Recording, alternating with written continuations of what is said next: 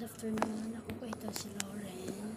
Tayo ay magluluto ngayon ng uh, inumin na galing sa balat ng watermelon pakwan.